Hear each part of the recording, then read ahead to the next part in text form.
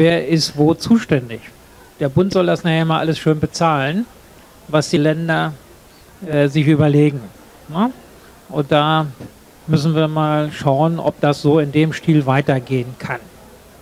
Ähm, was das Thema feste Fehmarn-Weltquerung betrifft, ach, warten wir doch erstmal ab, ob die Dänen überhaupt das jemals bauen werden. Ich habe da so meine mittlerweile meine großen Zweifel, denn jetzt kommen sie richtig mal an das System ran, wo sie sich mal mit harten Fakten auseinandersetzen müssen, nicht nur mit Wunschträumen, sondern jetzt haben sie Angebote auf dem Tisch vorliegen und da auf einmal äh, schauen sie mal ganz erstaunt, was die, wie die Preise sich da entwickeln.